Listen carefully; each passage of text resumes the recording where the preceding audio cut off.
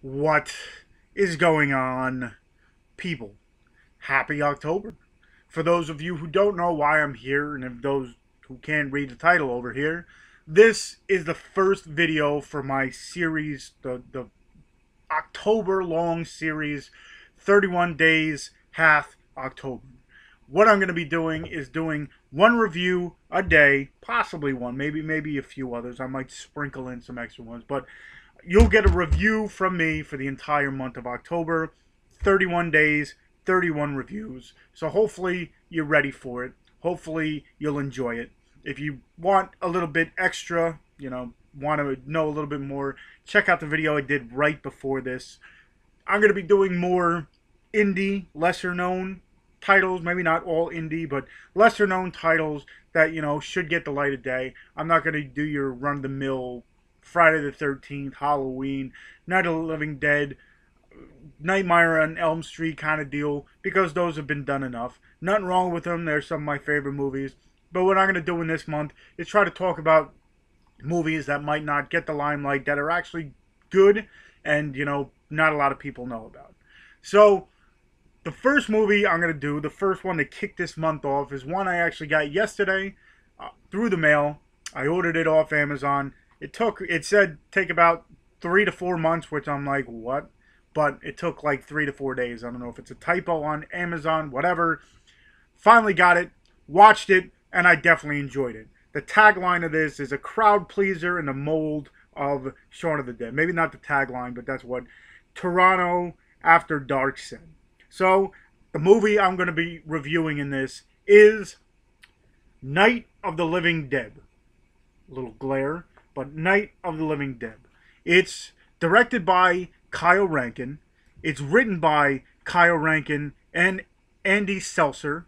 It stars Maria Thayer, Syd Wilder, and Ray Wise, among many others. So pretty much what this is about is the girl on the cover, her name is Deb.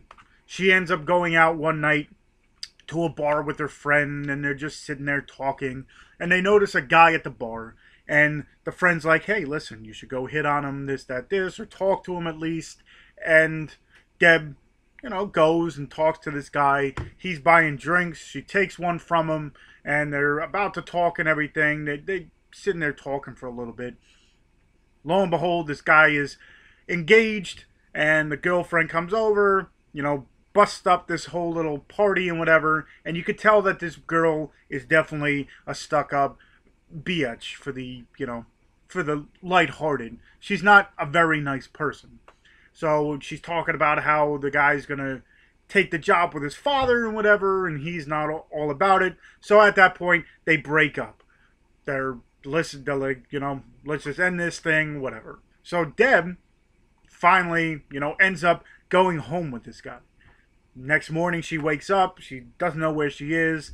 Well, kind of. She ends up running into the bathroom, somehow knowing where the bathroom is. That's a little odd.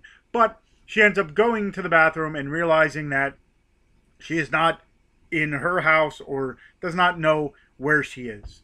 She wakes up, gets out of bed, and hears this guy on the phone talking about how he brought her home. He doesn't know how to kind of get her out of the house.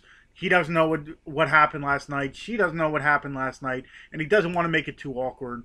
So he he ends up walking into the room, and she's sitting there, and he's like, "Listen, I don't know what happened last night. Last night was a mistake. You kind of gotta leave." And as they're both talking to friend, their friends, because she called her friend from the night before, he's talking to his friend. On a phone call, you hear them kind of end the phone call kind of abruptly. So you think, okay, what's going on here? So they both go outside and they realize something is definitely wrong. She drives away in her car and she notices people like eating each other and the one there's one girl zombie that ends up like trying to get in the car. She realizes something's going on. This guy ends up going into a coffee shop. I guess he's on his way to work and he he figures out. Now you see there's a epidemic going on. There is zombies all over the place. So somehow they run back into each other, and now it's a fight for survival, which you know, is very interesting because it was like a one night, bad one night stand that continues throughout the day. So he ends up wanting to go to his family's house and, you know, checking on his brother and his father and his uh, ex fiance at this point, I'm guessing. And you find out that, well, first of all, it's taken around uh, Fourth of July, you find out that the father is a huge Fourth of July fan and all this stuff, which really doesn't help the plot whatsoever. But they end up going to this guy's house, or family's house, and you find out it's a big gated community. You find out the father's a big honcho and whatever, and they're all safe. You find out that this is a man-made, I guess you want to call it, zombie apocalypse. There was something wrong with the water in this town or whatever they were doing. They were trying to clean it. Well, it had the exact opposite effect. They didn't test anything, so this water that the people were drinking turned them into these zombies. You'll find out that Deb is a a newscaster and she's all upset about this so she leaves and now it's this guy trying to find her you know i guess there's a blooming love interest or whatever so the rest of the movie is them trying to find a cure, trying to get the word out that, you know, this zombie apocalypse is happening. Throughout the movie, you know, like I said, it says it's in the you know mold of Shaun of the Dead, and it has that cut and dry humor. Some jokes hit, some don't, but overall, it is a funny, you know, horror comedy, I guess you want to call it. Not a whole bunch of, you know, gore to it. It is, you know, a lower budget, uh, so there's not much in the aspects of gore or anything when they get some of these people get killed. You don't see it, it's kind of offhand. You hear noises, but you don't really see guts or anything flying around.